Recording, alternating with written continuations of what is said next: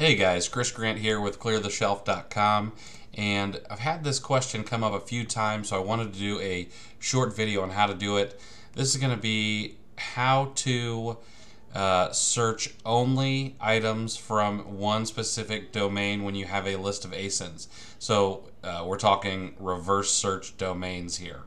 So what we're going to want to do is uh, you go to your settings, go to the searching tab, and come down here to reverse search domains. You can select the ones that you want to exclude.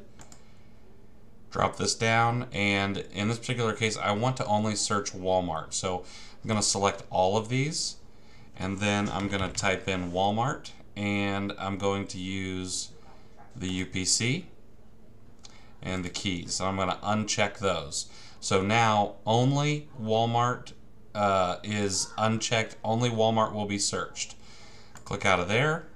Click Save. We go to our reverse search. I'm going to use the bulk product codes. I made a, a uh, action figures ASIN list with uh, Storefront Stalker Pro.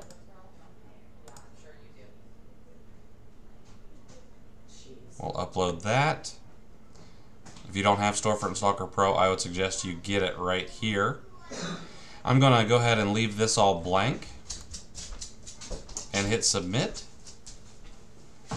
And we're going to see that I've got a reverse search running from walmart.com only. And that's how you do it. I don't have any products added yet. 4400 that it's going to check. Only take a few minutes uh, because I'm running some cache, but I'm going to go ahead and let you guys go. And that's how you run a reverse search on a single store only. Hope that helps. And if you guys have any questions, please let me know.